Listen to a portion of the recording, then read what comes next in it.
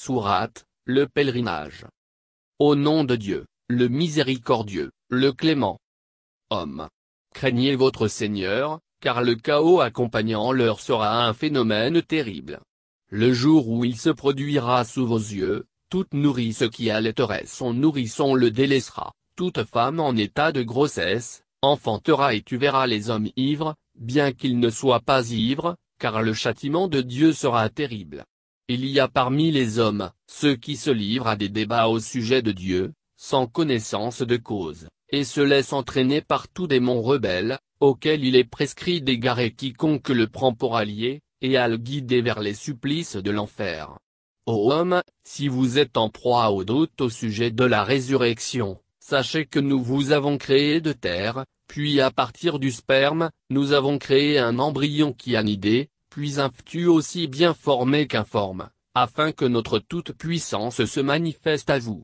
Nous fixons dans les matrices, ce que nous voulons, jusqu'à un terme déterminé.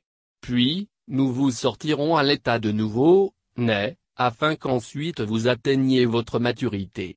Il est des gens parmi vous qui meurent avant et d'autres qui avancent jusqu'à l'indigence, où ils finissent par oublier ce qu'ils avaient appris. Observe la terre desséchée.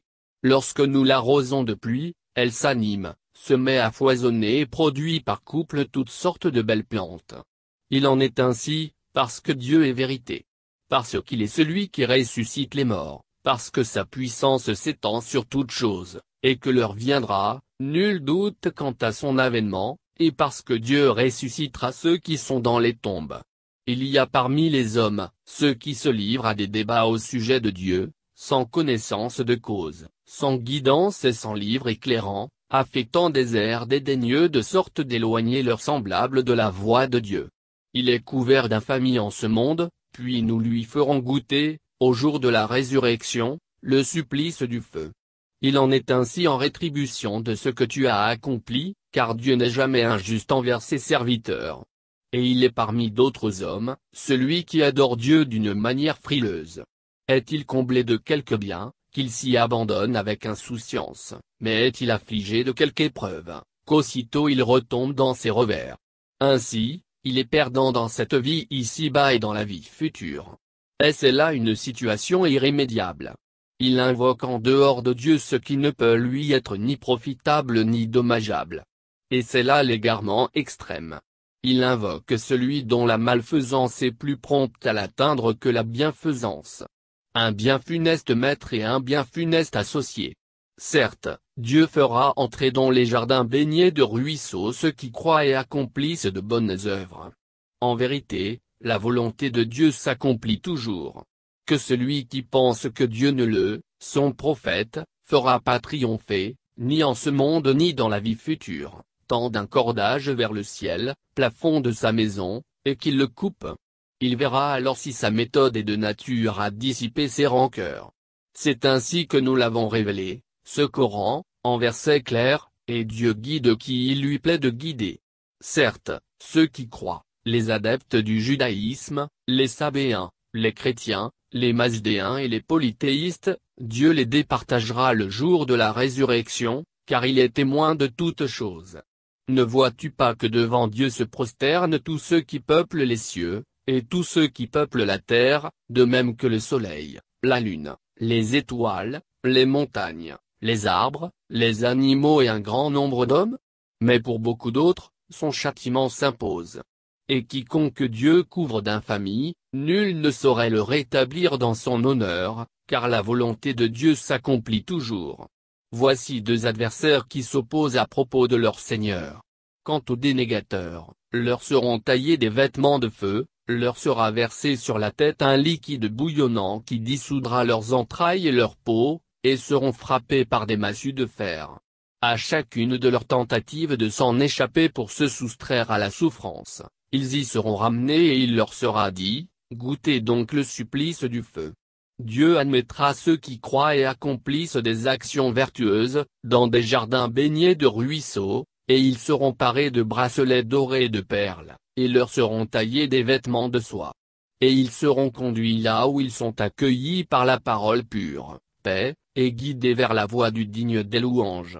les dénégateurs qui détournent leurs semblables de la voie de Dieu, et de la mosquée sacrée que nous avons établie pour les hommes, aussi bien les autochtones, les habitants de la Mecque, que ceux qui sont de passage, les nomades, que ceux qui cherchent à la profaner par perversité, nous leur ferons goûter un châtiment douloureux.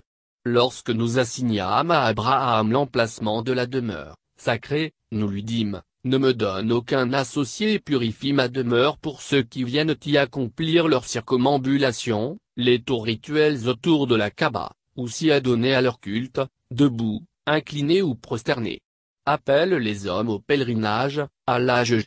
Ils répondront à ton appel, à pied et sur toute monture à la silhouette et flanquée, affluant de tous côtés des contrées les plus profondes, afin de témoigner de leur gratitude à l'égard des bienfaits dont ils ont été comblés et d'évoquer le nom de Dieu pendant des jours spécifiés lorsqu'ils sacrifient la bête du cheptel qu'il leur a accordé. Mangez-en vous-même et nourrissez-en le nécessiteux et le miséreux. Puis, qu'ils mettent fin à leurs interdits, état de sacralisation, qu'ils accomplissent leurs vœux et qu'ils effectuent les circuits rituels autour de la demeure antique. Tels sont les commandements de Dieu. Quiconque honore ses obligations sacrées, qu'il sache qu'il en sera récompensé auprès de son Seigneur. La consommation de la chair des bêtes des troupeaux vous est déclarée licite, à l'exception de ce qui vous est édicté. Écartez-vous des souillures que représentent les idoles et évitez le faux témoignage, en monothéiste pur qui ne prête aucun associé à Dieu, car quiconque lui prête des associés est semblable à celui qui tombe du ciel. Les rapaces le happent et les vents dispersent ses restes disloqués. Tels sont les commandements de Dieu. Quiconque honore le culte de Dieu, qu'il sache que ses actes procèdent de la crainte révérentielle d'un cœur pieux. Qu'il sache qu'il peut profiter des bienfaits qui en, les bêtes, découlent jusqu'au terme fixé. Puis, le lieu de leur immolation sera la demeure antique. À chaque communauté, nous avons affecté un rite, afin que soit prononcé le nom de Dieu sur les bêtes des troupeaux, au moment de leur immolation, qu'il leur a accordé. Votre Dieu est un Dieu unique. À lui vous devez vous soumettre, et annonce, prophète, l'heureuse nouvelle aux humbles dont les cœurs tressaillent à la seule évocation du nom de Dieu, qui font preuve de résignation face aux épreuves qu'ils subissent, qui accomplissent la sala et versent en eux-mêmes une partie de ce dont nous les avons gratifiés. Nous avons institué pour vous, les rites sacrificiels des bêtes comme autant de bonnes œuvres. Invoquez donc le nom de Dieu sur ce que vous alignez pour le sacrifice. Et lorsqu'elle s'écroule, morte, nourrissez-vous-en et distribuez-en à la humble, qui ne demande rien, et aux démunis. Nous voulez, bêtes, avons assujetti. Puissiez-vous en être reconnaissant. La chair et le sang de ces animaux que vous sacrifiez ne servent en rien à Dieu, mais sont autant d'actions qui révèlent votre piété, qui est seule recevable. C'est pour cela qu'il vous les a assujettis, afin que vous le glorifiez pour vous avoir dirigé sur la voie droite. Annonce, prophète, l'heureuse nouvelle aux vertueux, que Dieu défendra certainement ceux qui ont la foi, car Dieu n'aime pas les perfides qui se montrent ingrats. Il est donné permission à ceux qui sont agressés, de se défendre, car ils ont été opprimés, et Dieu pour les secourir est tout-puissant. Cette permission est donnée à ceux qui ont été chassés de leur foyer sans motif, si ce n'est d'avoir dit, notre Seigneur est Dieu. Si Dieu ne repoussait pas les agressions de certains hommes par d'autres hommes, des monastères, des églises, des synagogues et des mosquées où le nom de Dieu est souvent invoqué, auraient été détruits. Dieu fera triompher ce qui œuvre à faire triompher sa cause, car il est en vérité, Dieu tout-puissant et fort, et ceux qui, lorsque nous les rétablissons dans leurs droits, ceux qui ont été chassés de leur foyer, accomplissent la sala, s'acquittent du versement de la zaka, incitent à effectuer des œuvres vertueuses, et interdisent le répréhensible. Le dénouement de toute chose incombe à Dieu. S'ils, les mécréants, te traitent d'imposteur, sache qu'avant eux le peuple de Noé, les Hades, et les Tamoud, le peuple d'Abraham, le peuple de Lot, et les gens de Madian avaient eux aussi traité leurs prophètes d'imposteurs. Il en fut de même pour Moïse, qui fut traité de menteur. J'ai accordé un répit aux dénégateurs, puis notre châtiment les saisit. Considère alors combien terrible fut mon châtiment. que de cités n'avons-nous pas anéanti en punition de leurs iniquités Aujourd'hui, il n'en reste que des vestiges visibles, des puits condamnés et des palais fortifiés abandonnés. Que ne parcourent-ils la terre, à la recherche de réponses, afin que leur raison s'éveille à ce qu'ils y observent, ces cités dont il ne reste que des vestiges, et que leurs oreilles s'habituent à entendre, à s'informer de leur sort. En vérité, ce n'est pas la vue qui est défaillante, frappée de ces cités, mais la vision, celle des cœurs. Il te précède hâter l'avènement du châtiment. Mais la promesse de Dieu s'accomplit inéluctablement. Le fait est qu'un jour pour ton Seigneur équivaut à mille ans de votre mode de calcul. Que de cités auxquelles j'ai accordé un répit en dépit de son iniquité. Puis, mon châtiment les a saisis. Et c'est auprès de moi que tout est prédestiné. Dit, homme. Je ne suis pour vous qu'un avertisseur explicite.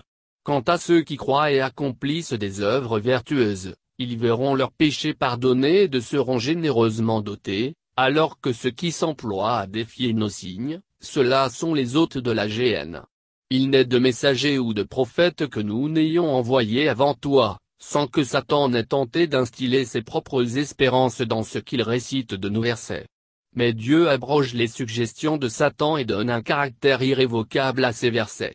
Dieu est omniscient et sage. Il veut ainsi faire des suggestions de Satan une épreuve pour ceux dont la foi est fragile et pour ceux dont les cœurs y sont hermétiques. C'est pourquoi les iniques s'égarent si profondément dans la scission. Il veut également que ceux qui reçoivent la science sachent que ces versets sont l'expression de la vérité émanant de ton Seigneur, qu'ils y ajoutent foi, et que leur cœur s'y soumette en toute humilité, car Dieu guide vers la voie droite ceux qui croient les cœurs des mécréants seront encore à douter à leur sujet, les versets, lorsque l'heure les surprendra, ou lorsque s'abattra sur eux le châtiment d'un jour dévastateur. La souveraineté, ce jour-là, appartiendra à Dieu seul qui jugera entre les hommes. Quant à ceux qui auront cru et auront accompli des œuvres pieuses, ils séjourneront dans les jardins de la félicité, alors que ceux qui auront été dénégateurs et qui auront traité nos signes de mensonges, ceux-là subiront un châtiment infamant. Et ceux qui auront émigré pour la cause de Dieu, et qui ensuite ont été tués ou sont morts, en exil, Dieu leur prodiguera un grand bienfait, car Dieu est le meilleur des prodigues. Il les introduira certainement, en un lieu qui les comblera. Dieu est certes, omniscient et magnanime.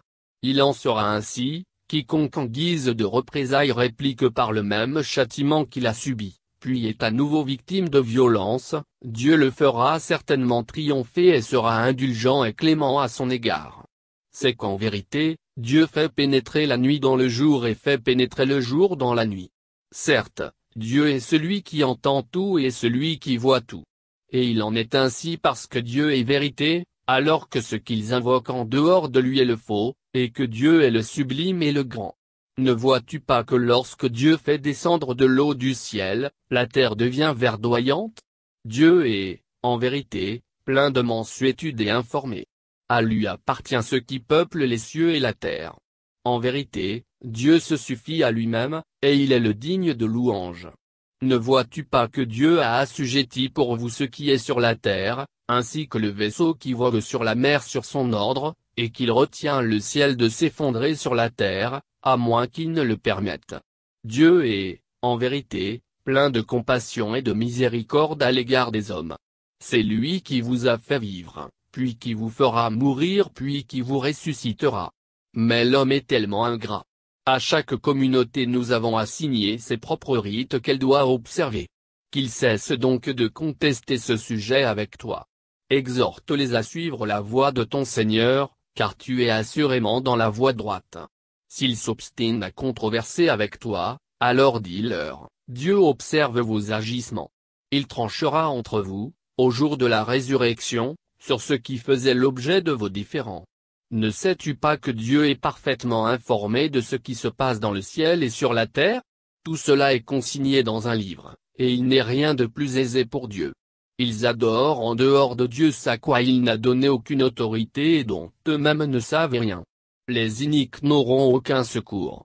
Lorsque nos versets leur sont récités, comme autant de preuves manifestes, le reniement se reconnaît sur le visage des dénégateurs, à tel point que peu s'en faut qu'ils ne fondent sur ceux qui leur récitent nos versets. Dis-leur, vous informerai-je à propos de quelque chose de plus terrible encore? L'enfer. Dieu l'a promis à ceux qui dénient. Une bien funeste destinée. Ô homme Une parabole vous est proposée. Méditez-la. Ceux que vous invoquez en dehors de Dieu sont incapables de créer une mouche, dussent-ils unir leurs efforts pour y arriver. Mais si cette mouche leur subtilisait quelque chose, ils ne pourraient la lui reprendre. Ainsi, l'adorateur, des idoles, et l'adoré, l'idole, sont aussi faibles l'un que l'autre. Ils sous-estiment le pouvoir de Dieu. Dieu est, en vérité, fort et tout-puissant. Il choisit des messagers parmi les anges et parmi les hommes. Dieu est celui qui entend tout et celui qui voit tout. Il sait ce qui est devant eux et ce qui est derrière eux. Et c'est vers Dieu que toutes choses seront ramenées. Ô vous qui croyez! Inclinez-vous. Prosternez-vous. Adorez votre Seigneur et faites le bien. Puissiez-vous y trouver votre salut. Luttez comme il vous incombe de le faire pour la cause de Dieu. C'est lui qui vous a élu, et ne vous a imposé nulle contrainte en matière de religion, ce culte de votre père Abraham, lequel vous a lui-même nommé les musulmans auparavant, appellation qui est la vôtre en ceci, le Coran, afin que le messager soit votre témoin, et que vous soyez les témoins des hommes. Accomplissez donc la salat. Acquittez-vous du versement de la zaka et remettez-vous à Dieu. Il est votre protecteur le Seigneur par excellence, et le soutien par excellence,